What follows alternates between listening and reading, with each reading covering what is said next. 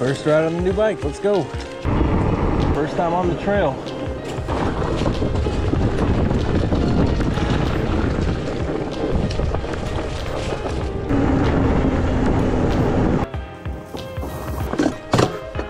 We have a problem. Disaster strikes. The Evo OMW Old Man Winter out for its first ride.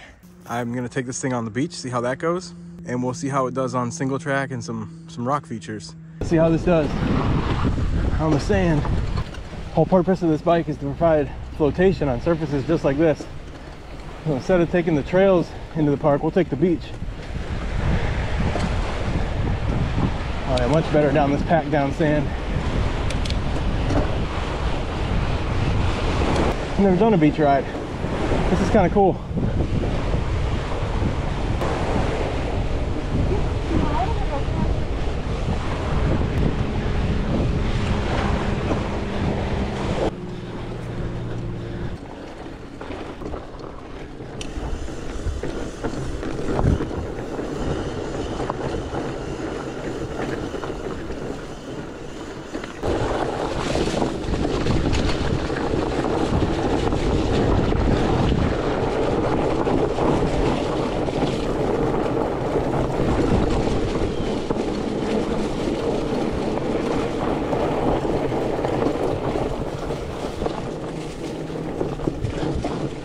Headset feels loose. I'm gonna have to fix that. Had to stop for quite a long time. Headset felt really funny.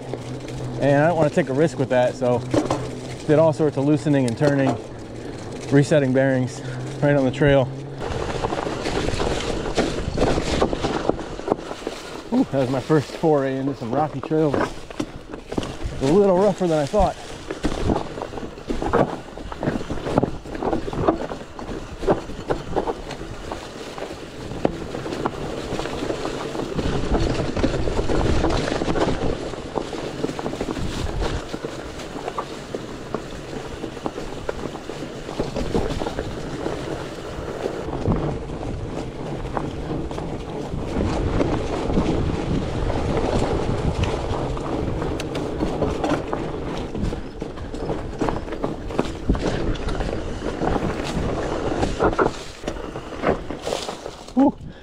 Man, one thing about steering on this bike, the tires kind of have a mind of their own. They're grippy, but they, you get out onto that shoulder of them and they want to, they want to take the whole bike with it. So let's see how we do. It's a little off camber here. I don't know where the bike's gonna want to take me. Made it. Whew. How you doing? Good. Way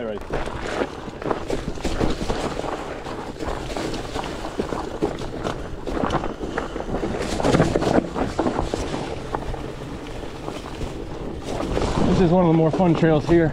It's downhill and there's lots of rocks and roots and stuff.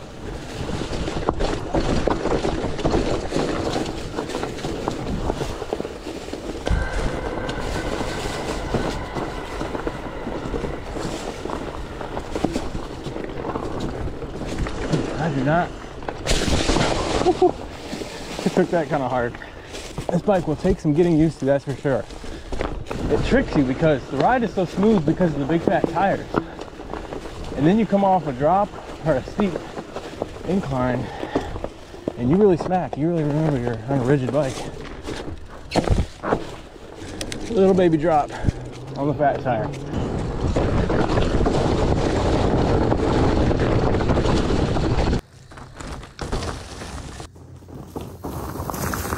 Let's do a little more single track and we'll try to catch sunset on the beach.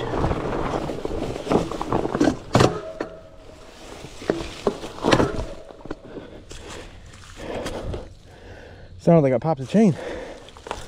We have a problem. It looks like my cassette is loose. When I try to pedal, the cassette spins. I've not had that happen before. So it could be a long walk home. I need something to... It should not be spinning. Disaster strikes. I heard something pop on the bike and my cassette started spinning. And I figured it just disengaged from the hub. I don't know if a part flew off my bike. I've been kind of searching the trails for it. So I can't pedal, but I can glide home. Well, I can kind of pedal. But the cassette is just free spinning.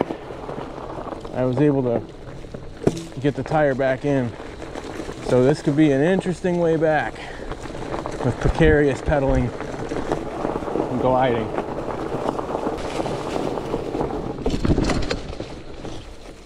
Yeah, I can't put pressure on it. Just gonna have to walk it to the hill. It's weird, I am getting tension. All right. There it goes. There goes my tension.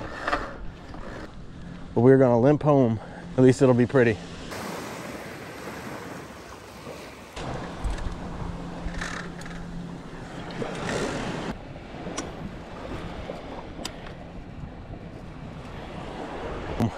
Bike is busted. Wanted to have a good video on initial impressions on the new bike and I had all sorts of issues with this bike. First, the headset was a little screwy. It, it seemed like I, I could never get it tight enough. There was always some play in the headset, which is pretty dangerous. Later, I was going uphill and was probably in the wrong gear and there was too much tension on the drivetrain and something popped. And I noticed that the cassette was spinning. So the chain was just spinning the cassette. And then when I was just messing with the axle, there's no way to get the axle completely tight even when you press down the quick release lever. Other than all of that, the bike rides well. Uh, it, it, feels good. It, it handles this sand pretty good on the way in. On the pavement, it is heavy. You can feel it sort of slogs, but tires make a satisfying TIE fighter sound or that all that rubber on the pavement, which is kind of cool. On the single track, very interesting. It feels like you have suspension. It's a nice cushy ride, but once you hit obstacles, it is very apparent that it is a rigid bike. You, you soften the blow, but you still bounce. It's like the bike doesn't absorb the energy the way a suspension bike would. I thought the tires would do more it's possible that I have the tires overinflated. I, I put a lot of air in them knowing I'd be on the road to get to the park. So next time out, if I get this bike fixed, we'll take some air out of the tires. Whew, if you made it this far with me, thanks. Like and subscribe. Hope you at least enjoy this view. Beautiful sunset view here at Rocky Neck State Park. I gotta figure out how to get this thing fixed.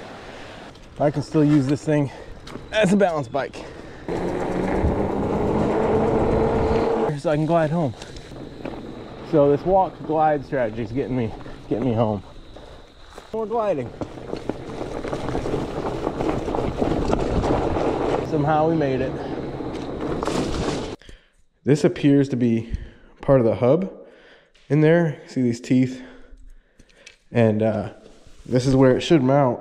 I texted a friend who said some, which I did not know this, some systems uh, are held in with the pressure of the axle. And he said, if, if as long as these parts weren't damaged, which I don't think they are, that I can seat the cassette, apply some pressure, and do a reverse turn, and that should seat it. It sounded like it clicked. So let's try to mount this tire and see if that solved my problem. This axle nice and tight.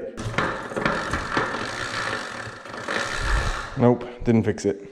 So here's the problem. This system does require the axle's force to hold all the components together in the back of the bike.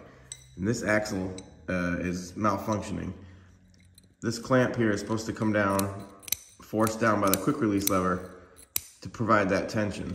Problem is, the way you connect the quick release lever to the rest of the axle is this little barrel cylindrical little nut here and it is either completely stripped out or misthreaded and this handle will not attach or stay attached here so you get no leverage. But I have some good news. Talked to the company that sold me the bike today. They're gonna send me a new wheel set to include the cassette and the axle. Uh, they've fixed these up since their initial release and it should be good to go. So I'm excited to get that in the mail and we'll get back out there once we get this bike fixed.